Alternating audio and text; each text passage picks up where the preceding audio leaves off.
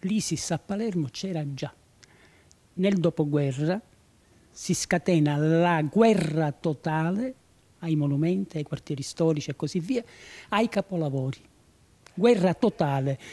Io ricorderò che Lucio Piccolo, il grande poeta, con la sua famiglia lasciò via Libertà dove avevano una stupenda casa perché sentivano enormi masse di metallo che percuotevano i villini liberti della nostra città e li abbattevano spietatamente.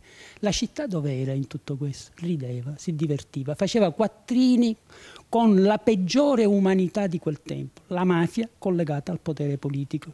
Qualcuno ha protestato? Non mi risulta. Io ricorderò che Villino Florio fu bruciato dai proprietari. Non fu bruciato da Totorrina, fu bruciato dai proprietari per farne spazio di edilizia e quindi di facile arricchimento. Quindi tutto questo purtroppo ha creato un tessuto che si ripete all'infinito e che coinvolge sia la destra che in parte anche la sinistra.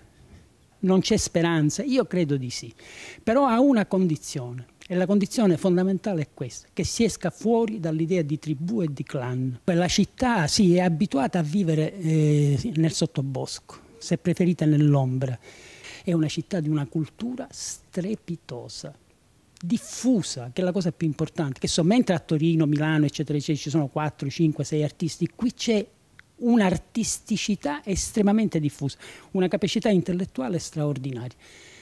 Però non hanno la forza, la forza di parlare, di raccontare che cosa vivono sulla loro pelle continuamente.